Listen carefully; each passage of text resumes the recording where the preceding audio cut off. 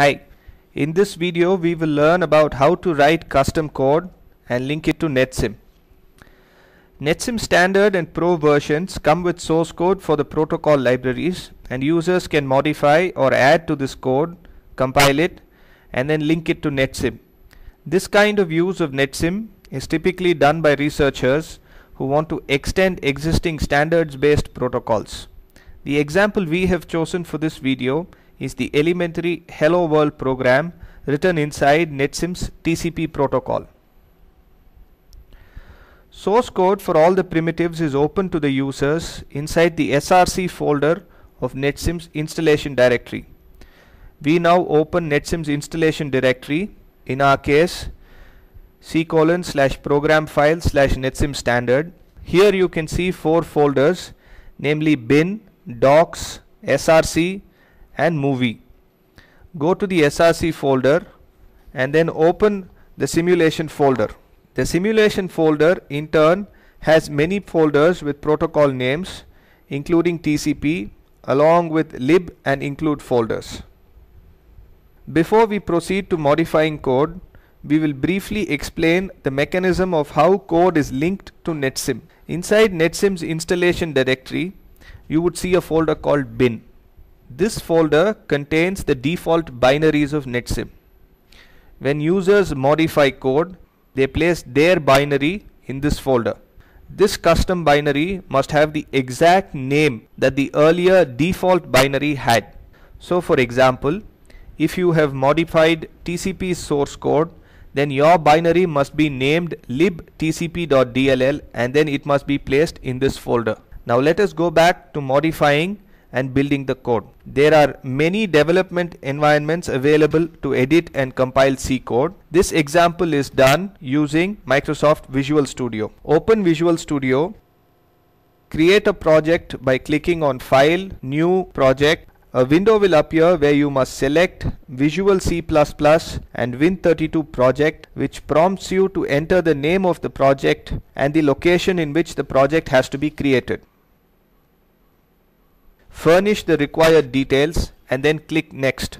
After clicking next another window will appear in which you need to select the application type as DLL and additional option as empty project. Then click finish. In our case we will name the project as libtcp. We have now created a project and this project is displayed in the solution explorer of Visual Studio. Inside this project folder, the following files would need to be copied and pasted. Header files related to TCP from the path source slash simulation slash include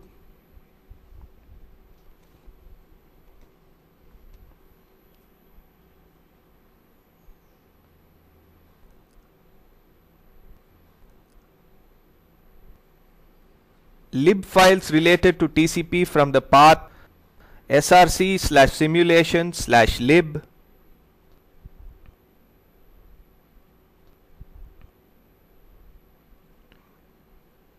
source files related to TCP from the path src slash simulation slash TCP.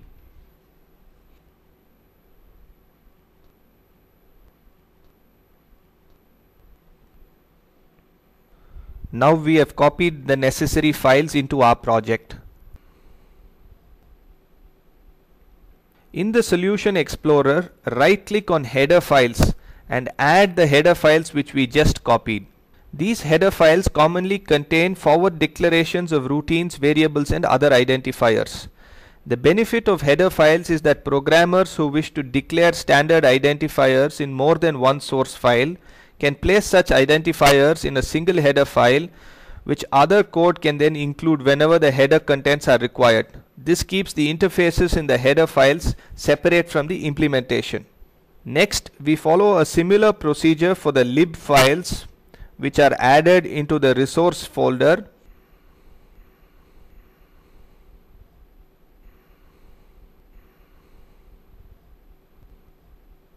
and for the source files which are added into the source file folder.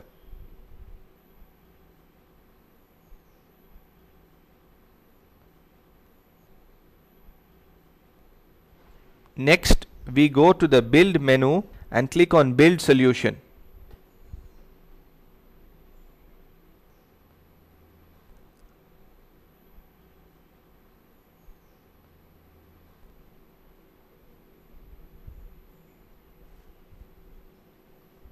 the build is complete and inside the debug folder of the project a DLL is created. This DLL will be exactly similar to the default libtcp.dll available in NetSim's bin folder. Next, we will modify this DLL by adding a hello world statement. We open the file tcp.c and write the print statement just after the TCP init function.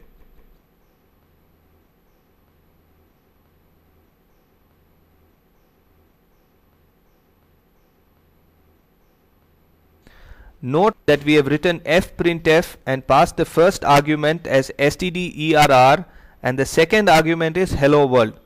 This is because in NetSim we have modified the standard printf function to write to a log file rather than to command line.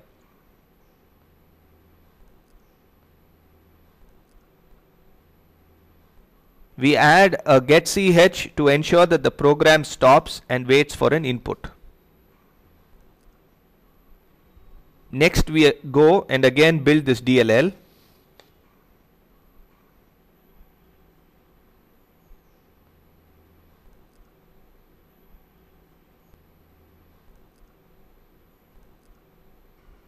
Inside the bin path of NetSim, we rename libtcp.dll as libtcpdefault.dll. We have just chosen the name libtcpdefault.dll and the important thing is that it is renamed to anything that is different from libtcp.dll. We then go to the debug folder of our project where we created the new libtcp.dll and then copy and paste this into the bin folder of netsim. This completes the process of replacing NetSim's default binary with a custom built binary.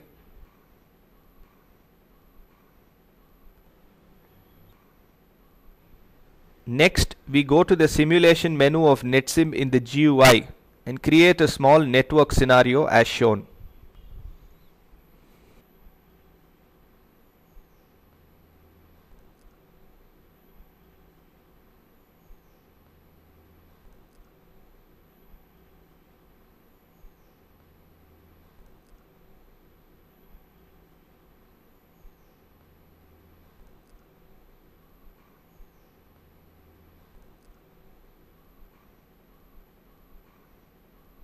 During this process, care is taken to ensure that TCP protocol is not unchecked when setting the node properties. After completing the scenario creation and traffic modeling, we click simulate and enter simulation time and experiment name.